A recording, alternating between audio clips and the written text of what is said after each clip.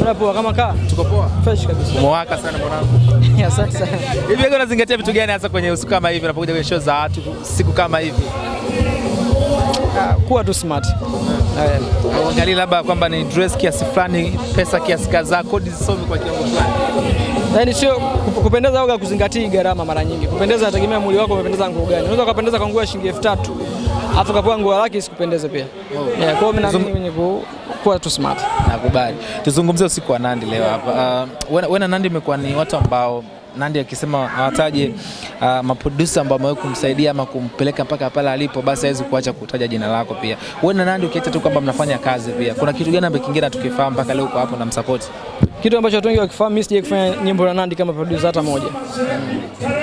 Ndio kitu ambacho hata wakifahamu. Kwa hiyo Okay, as a producer umesema Yeah. kufanya naye kazi. Hata moja. As a artist kuna mpango labda ya kufanya naye kazi.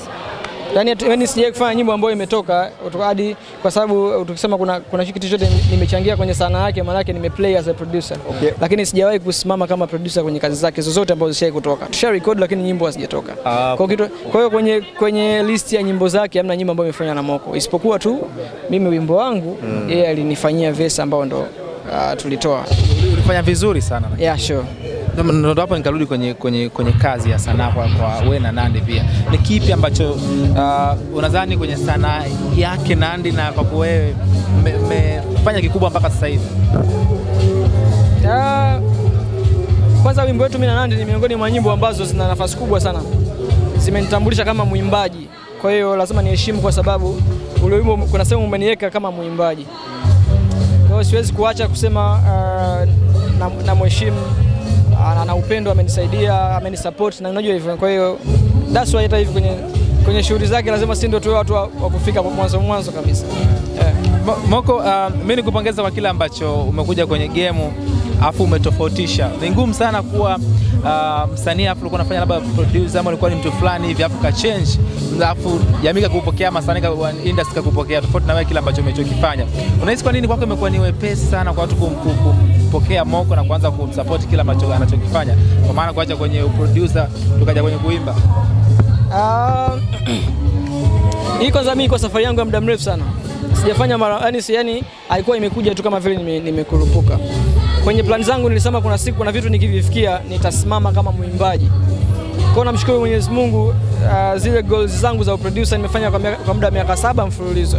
Nikasema sasa hivi hata nikileta bidhaa mpya huenda ikafanya vizuri sokoni. Na namshukuru Mungu nimekuja kama mwimbaji na nimepokelewa vizuri, nafanya vizuri. Kwa hiyo hii ni furaha yangu kubwa sana kuona nilichokifanya, nilichokiwaza kwa muda mrefu, nilichokificha siku zote, leo kimekuja kimeonekana na kimependwa. Chemistry yako na Mario imekuwa ni nzuri. Though this year pia kuna collaboration yoyote na Mario? Tumefanya nyimbo siku sio nyingi, miezi miezi mitano iliyopita tumefanya nyimbo. Kwa hiyo uh, tutaendelea kufanya kazi kwa sababu mimi ni producer pia, tutafanya kazi kama producer. Ukija ujio wa ngoma yetu mimi na Mario tena, watu wataona, wataenjoy pia. Kwa hiyo Bongo Flava imekuwa ime- ina- inaenda sana mbali. Yeah. Ndio kwa labda as a producer au as a artist kuna mashavu yoyote labda ya nje ya nchi labda Marekani wapi as a producer ambao unayapata au as a artist ambao unayapata for this time? Mimi nimefanya vitu vingi sana sana, kwa sababu vitu vingi haviko havi- bado havijakuwa vimetoka, lakini pia kwa sababu kuongelea project ambazo hazijatoka sio sawa, lakini mimi na vitu vingi sana ndani, yani studio kwangu, yani kuna vitu vingi sana ambavyo najua vikija viki, siku vikitoka, yani itakuwa surprise kubwa sana kwenye taifa. Na pia wewe ume, una, unafanya kazi sana nani na, na Mbosso lakini hatuoni ukifanya kama as a artist wewe na Mbosso, lakini as a producer unafanya sana kazi na Mbosso. Kuna ngoma yote labda inakuja wewe pamoja na, na, na Mbosso? Ah, kwa sababu mimi ni producer sasa na sisi sisi tumerekodi nyimbo nadhani mbili muda mrefu sana. Kwa hiyo wakati ukifika, wataenjoy mziki, mziki ipo ndani. Mimi nikupe pongezi kwanza, ngoma yako mpya inafanya poa ah, na tumeona imepokelewa kwa namna moja au nyingine. Kwa upande wako, mapokezi ya uh, mashabiki zako, even though ulikuwa producer, lakini kumekuwa na mapokezi makubwa sana. Kwa upande wako, ni nini ambacho unakitarajia 2024? Ah, kwanza vitu ambavyo nimewaandalia nadhani ni vikubwa zaidi. Kwa hiyo kwa sababu maandalizi ni makubwa, hata mapokezi na, mimi natarajia yawe makubwa. So uh, tumeanza na hilo mwaka tulivyofunguka Januari hiyo, sasa hivi tuko mwezi wa pili, lakini nadhani katikati hapa kuna vitu vitu vya Ramadhani, baada ya mifungo mifungo na kwa lazima ikiisha mawe yatakuwa naongozana. Okay, Moko, uh, kuna swali moja nataka nikuulize uh, kuhusu mziki wa mapiano. Uh, mziki wa mapiano unafanya vizuri sana Afrika na dunia kwa sasa, lakini naona upande wa Tanzania hapa kwetu artists kutoka hapa Tanzania inakuwa ni ngumu sana mziki wao wa mapiano kupenya Afrika na dunia, ni wachache sana. Hasa tuzungumzie upande wa South Africa, upande wa Nigeria, wao miziki yao kuhusu wa mapiano huwa unapenya sana kidunia na Afrika nzima. Wewe hili as a, uh, as a producer? Amapiano kwanza ni mziki mzuri sana, lakini uh, uh, South Africa ndio asili yake, sio Tanzania. Uh, Nigeria walikuwa wa kwanza kabisa kuwahi kuufanya pia, lakini pia Tanzania mapiano zetu zinafanya vizuri sana. Uh, kama utafanya research vizuri utagundua kama zinafanya vizuri. Mara mwisho nadhani jana nimeona clip ya Neymar akiwa anacheza wimbo wa Lava Lava Tajiri. ya kitu kama hiko nadhani. Kwa hiyo kuna hatua waga zinaonekana taratibu taratibu. Tukiwa tuna haraka sana ya kuona mafanikio kwa haraka itakuwa ita- ita, ita inatukatisha tamaa, lakini mimi naona tunachokifanya kinaonekana sana. Kama producer, mimi nataka utoe mtazamo wako mara moja kwenye hili swala la uh, Mwana FA. Yeye ni msimamizi wenu kwenye industry ya mziki na sanaa kwa ujumla, lakini kuna kitu alikizungumza akasema, kwenye namba moja na namba mbili nyimbo zinazo trendi zote ni ziko nje ya mapiano. Kwa namna moja au nyingine inaweza ikawa uh, raia wameshtuka nini kwamba tunaiga vya watu, inabidi tubaki kwetu. Una lipi la kuzungumza kwenye hili? Kwenye mziki, kwenye mziki unajua hamna kuiga. Kwenye mziki unafanya kile ambacho unahisi mashabiki zako wanakihitaji kwa wakati huo. Kwa hiyo ukihisi mashabiki zako wanapenda ufanye mapiano, fanya mapiano. That's why kuna genre tofauti tofauti za mziki. Wengine watapenda rap, watafuata rap. Watakaopenda piano watafuata piano, watakaopenda zuku watafuata zuku. Watakaopenda kompa za Bwana Moko watafuata kompa za Bwana Moko. Kila mtu atafuata radha ambayo yeye anaipenda. Nadhani kikubwa sana kuwapa nafasi ma, mashabiki kuchagua wanachokipenda. Kwa kama sasa hivi unaona kabisa imekuwa ni season ya Bongo Flava, watu wanaendelea kuenjoy na Bongo Flava. Okay. Hisi muda ambao ume, uh, Tanzania ilikuwa inafanya sana mapiano, tulikuwa tunatamani hiyo mapiano na uhisi kwamba ilikuwa inaenda kuvunja mziki wetu wa Bongo Flava. Bongo Flava haiwezi kufa kwa sababu Bongo Flava ndo Tanzania. Yaani mziki wowote hata tukichukua hiyo ama piano ikipigwa hapa Tanzania, ukienda kwenye digital platform utakuta kuna kitu kinaitwa bongo piano. Yaani bongo ile huwezi kuivua kwenye kwenye mziki wetu. Nadhani kama nilivyosema mwanzo tu sisi tuna kila sababu ya kujivunia kwa sababu Tanzania ni taifa ambalo lina watu ambao hawajasomea mziki ila wanafanya kila aina ya mziki. Okay. Yeah, so to enjoy. Sawa sawa. Mimi nataka niku, niku, nikuulize swali hili pia. Uh, Valentine imepita ilikuwa juzi and I remember kuna baadhi ya rumors zilikuwa zinaendelea kwenye mitandao ya kijamii kuhusiana na mahusiano yako pamoja na Nicole. Watu wakawa wanasema kutokana na ule ukaribu ambao upo nao, pengine ikawa Nicole ni wifi yetu kitaifa.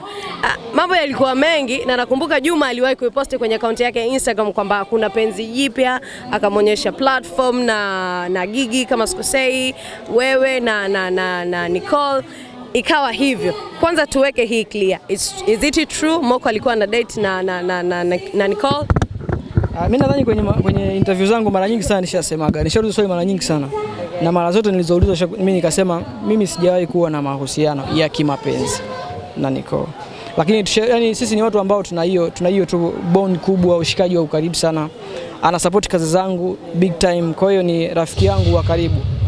Masuala ya mapenzi sijawahi kusema popote, kwa hiyo nadhani sio mpenzi wangu. Watu waliuliza sana, unajua, kuhusiana na ile ishu ya Nicole kupewa zawadi ndani ya gari, alafu sauti ya mtu wa nyuma sio ya Moko. Watu wakaanza kusema inakuwaje hapa kati, tunafahamu kama ili penzi jipya inakuwaje kuwaje hapa kati, alafu siku mbili nyuma mmetoka kurekodi video yako ya mmetoka kurekodi challenge ya nyimbo yako mpya, ilizua gumzo ile kwa namna moja au nyingine.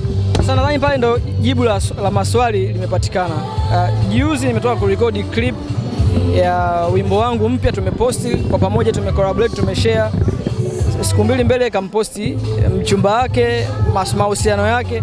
Kwa hiyo kesi ya mahusiano na mimi na Nicole nadhani sasa hivi majibu mmeyapata, lakini pia kesho na kesho kutwa tena mkiwa tunaposti kazi tunafanyaje, hii issue kwamba mpenzi wangu sio mpenzi wangu, kwa sababu majibu yake tayari atakuwa shapatikana, lakini ukweli ni kwamba mimi sina mahusiano naye. Nampenda kama mshikaji wangu kwa sababu ananisupport sana, ana upendo, very smart, anapenda kazi, anakushauri kuhusu kazi. Hiyo mimi kwangu mimi inanitosha kabisa kumweka karibu, lakini sio mahusiano. Kutoka uh, Moko ni mwanamke wa aina gani anaweza akadeti naye? Uh, tukimweka Nicole hapa tunamweka Malaika Cute hapa alafu tunamweka na Tesi, ni aina gani ya wanawake ambao wanaweza kadeti nao kwenye shape hizo? Yani si kwamba wao direct, ila ni shepu hizo. Sasa unajua mahusiano, kusema kweli, huwezi kuyadefine kwa muonekano wa mtu, shape sijui nini. Nadhani unaweza kumpenda mtu ambaye unaona kabisa mmekutana, mmependana tu. Siwezi kuchagua mmoja kati yao kwamba mtu wa hivi ndio naweza nikampenda, Ah, alafu ke- kesho kulikuwa na mwingine ambaye sio type yao, sijui kama itakuwaje, lakini nadhani uh, kwenye kesi nzima ya mahusiano unaweza kudondokea popote yeah. Naomba uh, utoe shout out kwa producer mmoja ambaye una- unawishi kufanya naye kazi kwa sasa hivi na unamwona kabisa huyu sasa hivi inawezekana namba, namba moja. Ni nani anaweza uka- uka- ukampa hiyo crown? Kwanza nifanya kazi na producer wengi sana mimi ambayo sijafanya naye sijui, lakini nimefanya kazi na LG, nimefanya kazi na Stukiz, uh, nimefanya kazi na Kimambo muda mrefu sana. Tuna project na Aba japokuwa hatujafanya, lakini tumeiongelea kwa muda mrefu sana.